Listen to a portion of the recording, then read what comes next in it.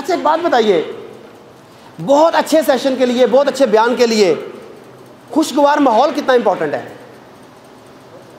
बहुत ज़्यादा। खुशगवार माहौल के लिए सबसे अहम चीज़ क्या है? दो कैंडियाँ इसके ऊपर।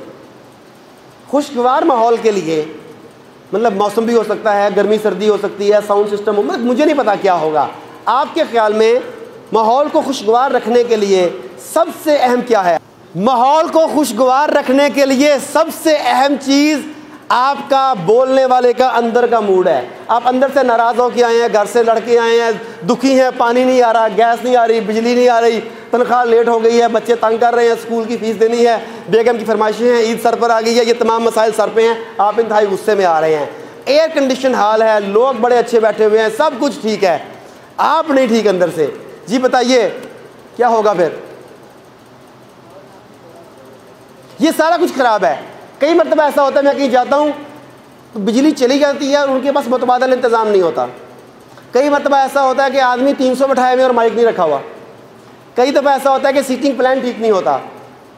अब मेरे ऊपर है कि मैं उन चीज़ों को तनकीद का निशाना बनाते हुए पूरे का पूरे सिस्टम को ख़राब कर दूँ, या मैं उन चीज़ों के मुताबिक एडजस्ट करते हुए अपनी क्वालिटी से उस सारे माहौल को पसंदीदा बना लूँ।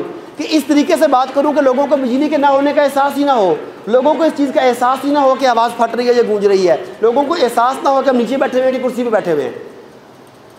यही तो खतीब की क्वालिटी है कि वो जहाँ जाए, लोग माहौल से बेनियाज हो जाए, उसकी ज़ात के सहर में खो जाए। तो सबसे इंपॉर्टेंट चीज़ फिर माहौल को खुशगवार रखने के लिए क्या है? खुद का खुशगवार होना। आप ठीक हैं तो सारे ठीक हैं। रात को एक मिसाल दी थी मैंने। आप भी तजुर्बा कर लीजिएगा। कल सुबह घर से निकलिएगा मुस्कुराते चेहरे के साथ।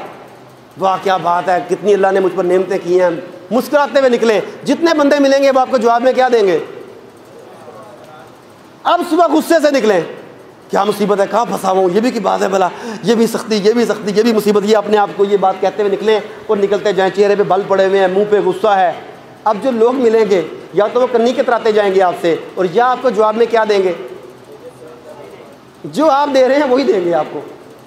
जो आप उन्हें अपने चेहरे से दे रहे हैं, उन्होंने भी जवाब में वही देना है आपको। तो ऑडियंस से जिस तरह का रिस्पांस चाहिए, सबसे पहले वो रिस्पांस हमें उन्हें देना है।